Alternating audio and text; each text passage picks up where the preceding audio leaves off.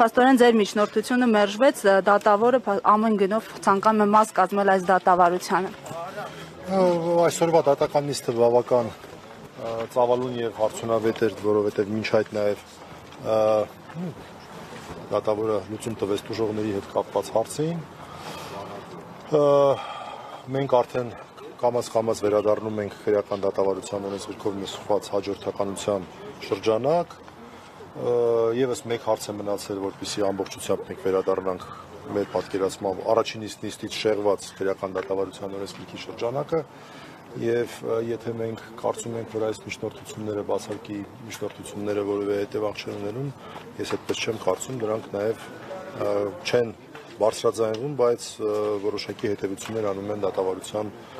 բոլոր մասնակիցները, կարծում եմ առաջի հերթին նաև դատավորը։ Ինչ հետևանքի մասին է։ Իրավական, իրավական որոշակի հարցերին ավելի մեծ ուշադրություն դարձնելու առումով օրինակ այսօր դատարանը ճիշտ որոշում կայացրեց օրինական ներկայացուցչի լիազոր ներկայացուցչի կարգավիճակ տալու մասով, ճիշտ է հետագա մասով այլ որոշում ներկայացրեց։ Ինչի է սա կարևոր։ Մեր համար երկու իրավակ երկու հարց, երկու կարևոր բան կա։ Առաջինը, մենք քանի որ միանշանակ մոտեցում ունենք, որ սա առաջին քաղաքական դատավարությունն է եւ երկրորդ անհիմն մեղադրանք է եւ մենք միանշանակ գնում ենք արդարացման ճանապարհով, մեր համար կարևորը որ չլինեն դատավարության ընթացքում այնպիսի խախտումներ, որոնք հետագայում մեր կողմից ակնկալվող արդարացման դատական ակտը կարող է վտանգ կարող են վտանգի ենթարկել։ Եվ այսպիսի հարցերը կարող են այդպիսի լինել։ Օրինակ կան ասեն մենք այլ այսպես մեծ հնարավորություն չի տրվել օրենքը խախտելը, խոսքը ասենք օրինակ դժող կողմին է վերաբերում։ Եվ այս այս տրամաբանությամբ են մեր հիմնավորումները, որոնք դժող կողմի հետ օրինակ կապված մենք ներկայացնում ենք։ Դատարանը այս մի հարցով ես դրական գնահատեցի, հիմա բացասականը ասեմ, անտրամաբանական կարծում եմ որոշում կայացրեց, որևէ կերպ չի հիմնավորված, այո, մյուս դժողի օրինական ներկայացուցչին ըստ էության դադարեցրեց դրա մասնակցությունը Տիկին Գալինայի մասին է խոսքը սակայն բուն դժողը մնաց դատավարություն հիմա վաղը մյուսներ կարող է ինչ որ մեկը որպես քաղաքացիական իրավունքի ռահանբանությամբ, չգիտեմ, հայտնվել եւ պնդել, որ նա պետք է ի սկզբանե ներգրաված լինել որպես ինքը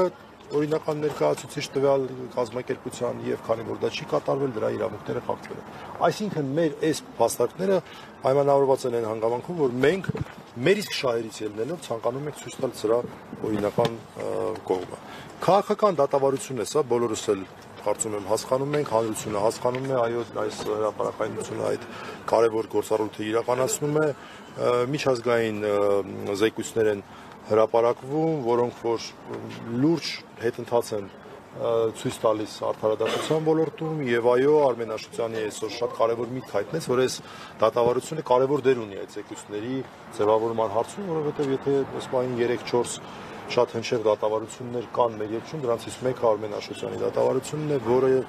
ի տարբերություն շատ ուրիշների բավական տևական է եւ արդեն քանի ամիս է 5-6 ամիս է մենք դեռ նախնական դատալսումների ենթադրում եմ կեսերին ենք հասել նախնական դատալսումների շատ այլ գործերով նախնական դատալսումները որ այստեղ 6-7 նիստ է, ինչ 6-7 նույնիսկ ավել, բանապես 10 նիստ երևի թե նախնական դատալսումների փուլն է, շատ այլ գործերով այն կարող է տևել 2 ժամ։ Մեկ նիստով կարող է ավարտվել։ Ուզում եմ ասել, որ այս դատավարության դերը շատ մեծ է նաև Հայաստանի ընդհանրապես արդարադատության վերաբերյալ գնահատականներ տալու հարցում։ Ես ինքս նկատեցի, որ դատավորը փորձում էր ինչ-որ հիմնավորումներ ներկայացնել, օրինակ նույն դատական դեպարտամենտի հետ կապված։ Այո, նույն շտատությունը հիմնավորելու հետ կապված մենք պետք է նայենք տեսնենք, օրինակ արդյոք դատավորի կողմից բանավոր, տեսեք ասած, ես ինչ որ բաներ եմ ասել, բանավոր